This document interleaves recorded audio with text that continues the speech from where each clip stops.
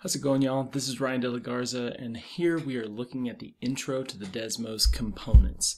In this first video, I'm going to look specifically at the note component and the math component, because those are our two basic ones to get us rolling when you're building an activity builder. If we're looking at a Desmos screen like I have here, we have all of our components lifted, listed on the left-hand side. So like I said, I'm going to start with our note component. The note component is great for sharing text with students. Anytime you want to tell them something, have a prompt, or give them any kind of information, a note is the best way to do that. So I have a sample question that I have here, um, just a generic question you may ask a student. And so we're going to just copy this over from whatever document I have. You could do this from a Google slide, from a PDF, whatever you have your problem already on. Let's just right click, copy it. We're going to bring it into Activity Builder and right click, paste. Now you notice I had some fractions in there that got a little funky, right? My 3 and 3 eighths. So what I'm going to do is I'm going to highlight those and I'm going to click down my math type button in the bottom left corner. That's going to turn this into math text. So I'm going to delete those first two and I'm going to put slash to get my fraction bar 8 and now I have my 3 eighths.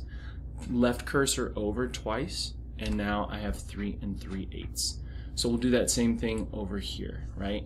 Uh, again, I'm going to highlight them all, hit my math type button, delete, delete, slash 8, and then cursor over twice for 3 and 3 eighths. So here I'm asking for what is 3 and 3 eighths as a decimal.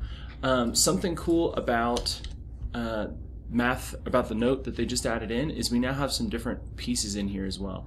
So I could highlight decimal, and I can bold that right here. Let's highlight it all though. Highlight decimal and hit bold. And now that's going to be a bolded word.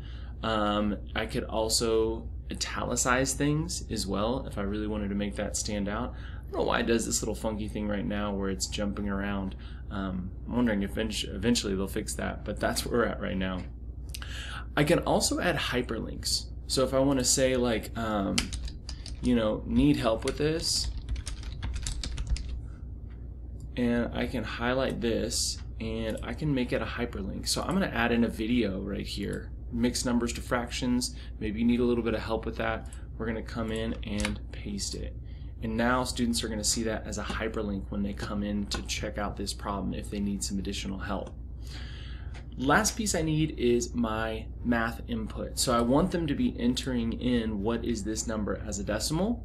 So let's go here, select math input, and now they can type in that math question, or not math question, but those numbers or numerical answers.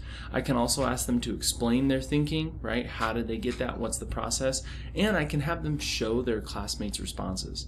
Some people are a little iffy on, do I want them to see their classmates' responses? Uh, because then they're going to know what the answer is that's one way of thinking, but it's also a great way, especially in asynchronous learning, uh, for students to get feedback. If they see a lot of other people with different answers in them, that's going to make them question their thinking and come back in and try and adjust. So it can be a great tool for students to see that stuff. So let's preview and see what we have. Here, John needs 3 eighths cups of sugar to make this liquid for his hummingbird feeder. What's 3 and 3 eighths as a decimal, nice and bolded. Need help with this? I can click the link, jump out to my help video, and then here we go and I can type in my answer, right? Which is 3.375, right? Submit and explain right there. And that's essentially the basics on a note and a math input. That's a great way to get you started with creating, uh, creating screens in Desmos using slides that you already have. So thanks for watching. If you have any questions, leave them in the comments below and happy Desmosing.